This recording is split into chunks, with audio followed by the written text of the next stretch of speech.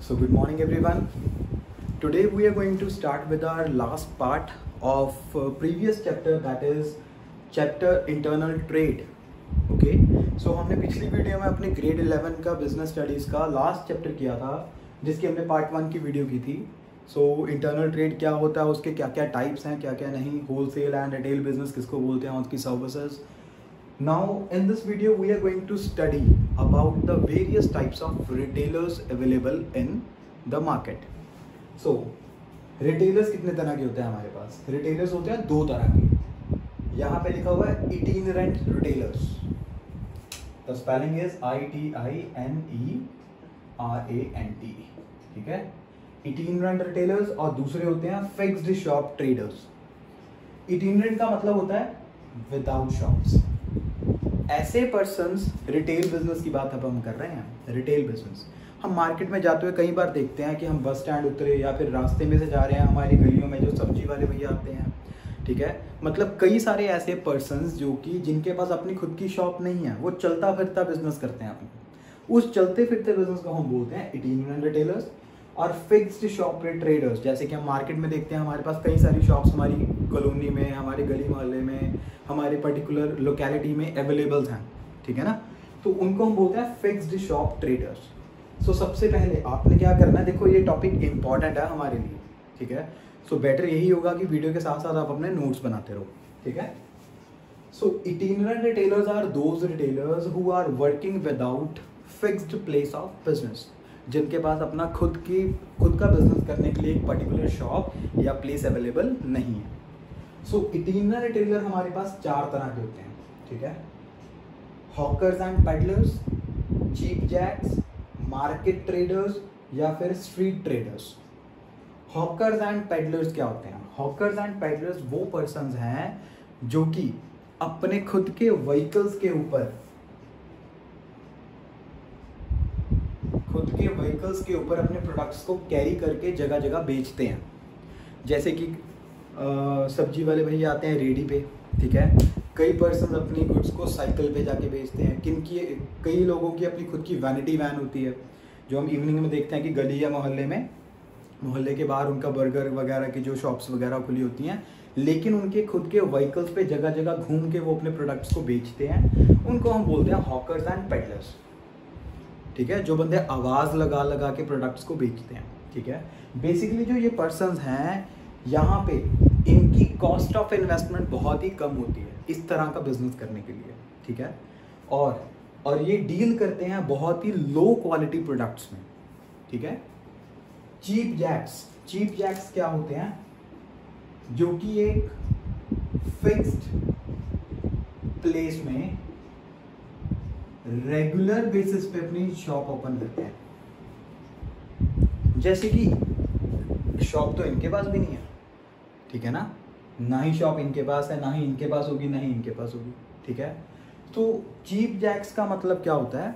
जैसे कि हम देखते हैं ना संडे मार्केट पटियाला में या फिर संगरूर में भी कहीं ना कहीं हमारे पास संडे मार्केट लगती है।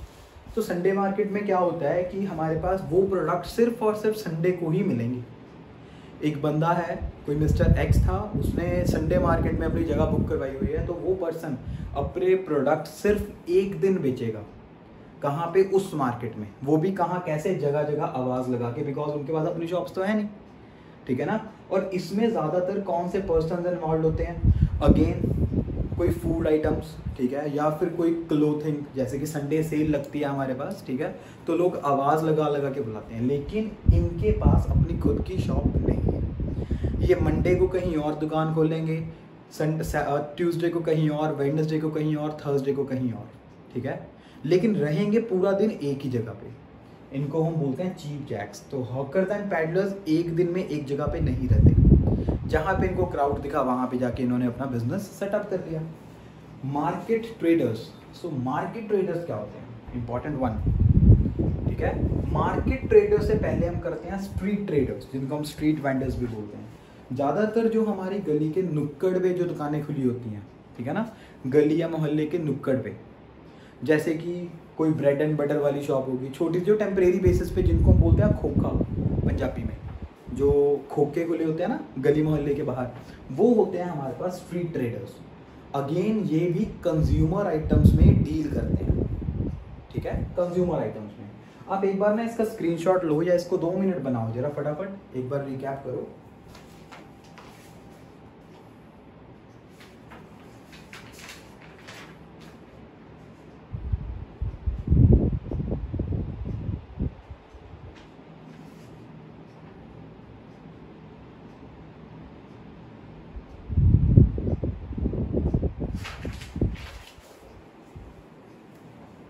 सो so, देखो हॉकर्स एंड पैडलर्स का बता दिया ये लोग अपने खुद के व्हीकल्स पे प्रोडक्ट्स बेचते हैं ठीक है? ये जो मैंने आपको बताया ना फिक्स्ड प्लेस पे जैसे कि संडे मार्केट ठीक है ना? एक पर्टिकुलर जगह है अगर हमने किसी बंदे से माल परचेज करना है तो वो बंदा संडे को इस इस जगह पे वो हर संडे को मिलेगा हमें ठीक है ना? ये बेसिकली होते हैं मार्केट ट्रेडर्स मार्केट ट्रेडर्स ठीक है? और चीप जैक्स क्या होते हैं? चीप जैक्स, जहाँ पे बेसिकली हैवी पॉपुलेशन होती है हमारे पास। जहाँ पे हैवी पॉपुलेशन जैसे कि बस स्टैंड रेलवे स्टेशन इन चीज़ों के बाहर, इन प्लेसेस के बाहर बहुत सारा क्राउड होता है पॉपुलेशन का। तो जो लोग ऐसी लोकेलिटी में जहाँ पे पॉपुलेशन बहुत ज़्यादा है, वहाँ पे अपनी एक permanent shop plus permanent shop open करते हैं।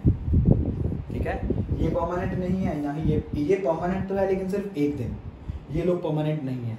इनके पास अपनी एक प्रॉपर शॉप है, जो वही अगेन खोखा छोटी सी शॉप जो शॉप गली मोहल्ले के नुक्कड़ में खुलती है, वो होती है स्ट्रीट वेंडर या स्ट्रीट ट्रेडर्स जो लोग पॉपुलेटेड एरिया में जाके अपनी शॉप्स ओपन करते हैं पॉपुलेटेड लोकेलिटी में जाके अपनी एक परमानेंट छोटी सी शॉप ओपन करते हैं वुडन बेस्ड उनकी दुकान का लेंटर नहीं लगा होता। उनकी जो वॉल जो उनकी छत होती है, वो वुडन की बनी होती है, ठीक है ना? उसी को तभी हम वुडन बॉक्स बोलते हैं। तो उसको हम बोलते हैं cheap jacks okay so itinerant retailers चार तरह के होते हैं। इन लोगों के पास अपने व्हीकल्स होते हैं।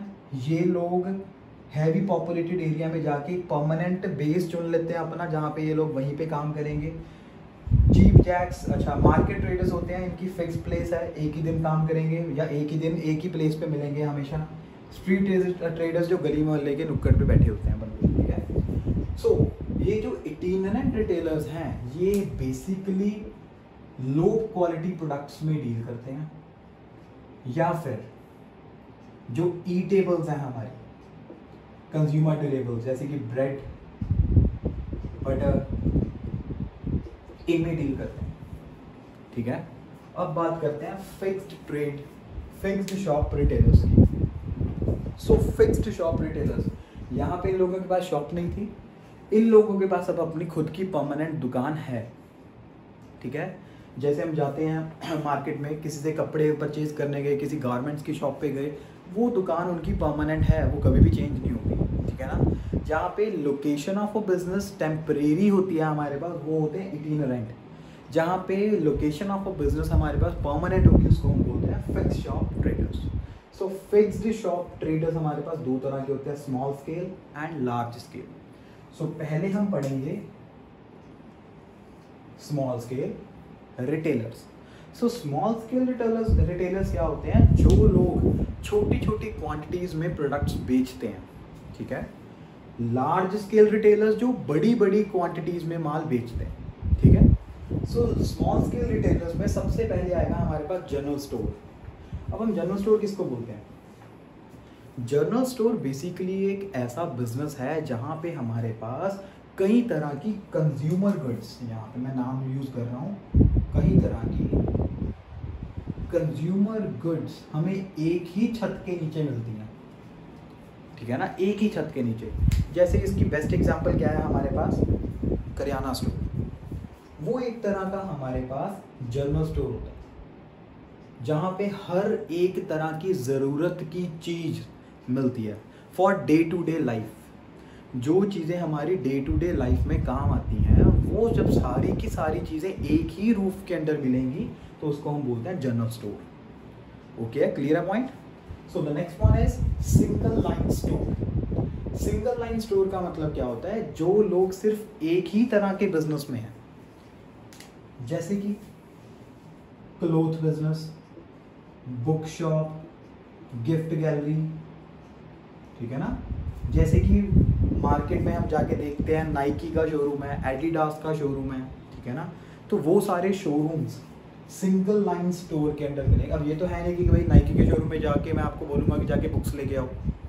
नाइकी के शोरूम में जाके हमें अच्छे से पता है हमें क्या मिलेगा? वेरेबल्स मतलब कि हमारे कपड़े, ठीक है ना? या फिर स्पोर्ट्स वेयर स्पेशलिटी शॉप्स क्या होती हैं? जो कि सिर्फ़ एक ही प्रोडक्ट में डील करती हैं, एक प्रोडक्ट यहाँ पे इन दोनों में डिफरेंस है। ये लोग कपड़े की लाइन में हैं। लेकिन एक पर्टिकुलर टाइप का जब ये कपड़ा बेचेंगे तब ये स्पेशलिटी शॉप बनेगी। जैसे कि रेस्टोरेंट रेस्टोरेंट में हमें बहुत सारी खाने की आइटम्स मिलती हैं। तो वो क्या हो गया? सिंगल लाइन स्टोर लेकिन जब मैं बात करता हूँ कैफ़े कॉफ़ी डे की सी सी डी ठीक है ना? वहाँ पे हमें ज़्यादातर कॉफ़ी ही मिलती है अलग अलग तरह की। ठीक है ना? ब्रिस्टा कॉफ़ी वो भी क्या है? स्पेशलिटी शॉप्स हैं। यहाँ पे मैं इसकी एग्जांपल लिख रहा हूँ सी तो आपको थोड़ा सा क्लियर हो जाएगा। ठीक है? यहाँ पे देखो, एक शॉप थी, किसकी? क्लोथ्स की। वो बंदा शर्ट्स भी रखता है ट्राउजर्स भी रखता है जीन्स भी रखता है एंड शूज़ भी रखता है। तो ये तो हमारे पास हो गया सिंगल लाइन स्टोर लेकिन एक पर्सन सिर्फ़ और सिर्फ़ शर्ट्स में डील करेगा या फिर शूज़ में डील करेगा, उसको हम बोलते हैं स्पेशलिटी शॉप्स ठीक है? नेक्स्ट आ गया स्ट्रीट शॉप्स अब स्ट्रीट शॉप्स क्या होती हैं हमारे पास? जब हमने बोला था कि जो गली के मोहल्ले गली के नुक्कड़ पे जो दुकानें खुली होती हैं, जिनकी जिनकी रूफ नहीं होती, जो कि वुडन बॉक्स में रहते हैं, उसको हम बोलते हैं स्ट्रीट ट्रेडर्स यहाँ पे है स्ट्रीट शॉप्स जब वही गली मोहल्ले के नुक्कड़ पे, जैसे कि फ़ोटो स्ट्रीट की शॉप होती है, हमारे एक मोहल्ले में एक ना एक किराना स्टोर ज़रूर होगा, ठीक है ना? तो वो क्या है हमारे पास? स्ट्रीट शॉप्स जो दुकानें हमें गलियों या मोहल्ले में मिलती हैं या कॉलोनीज में मिलती हैं, उसको हम बोलते हैं स्ट्रीट शॉप बेसिकली ये डील किसमें करते हैं? कंज्यूमेबल आइटम्स में, जो हमारी डे टू डे लाइफ में काम आती हैं. Second hand goods shop second hand goods shop क्या होती है? जहाँ पे हमें ऑलरेडी यूज्ड गुड्स मिलती हैं, पुरानी गुड्स में जो लोग डील करते हैं. जैसे कि कोई सेकेंड हैंड कार में डील करता है, कोई सेकेंड हैंड बाइक्स में डील करता है तो वो क्या होते हैं? सेकेंड हैंड गुड्स शॉप ठीक है?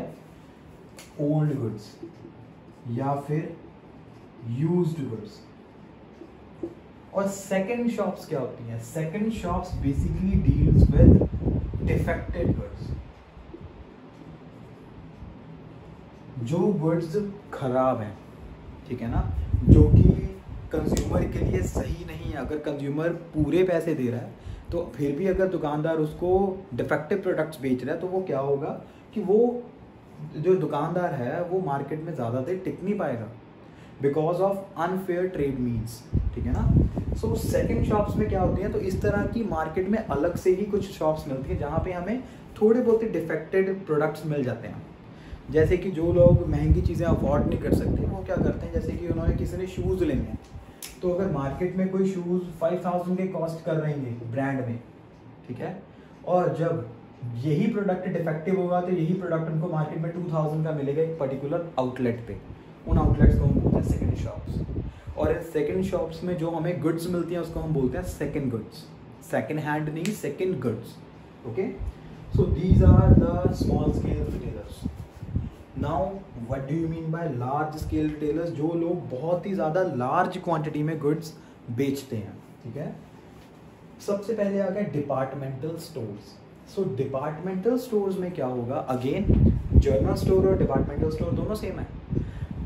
डिपार्टमेंटल स्टोर में हम branded goods and non branded goods में डील करते हैं। ब्रांडेड एंड नॉन ब्रांडेड ठीक है?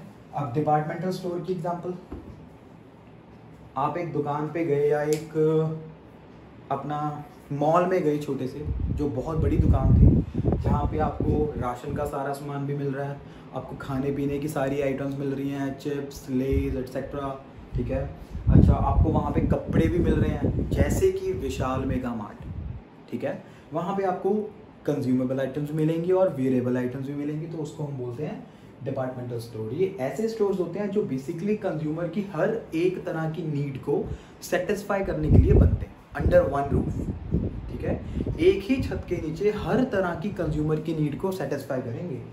ये लोग सिर्फ़ डे टू डे लाइफ में डील करते हैं। ये लोग हर एक तरह की नीड चाहे वो डे टू डे है, चाहे नहीं है।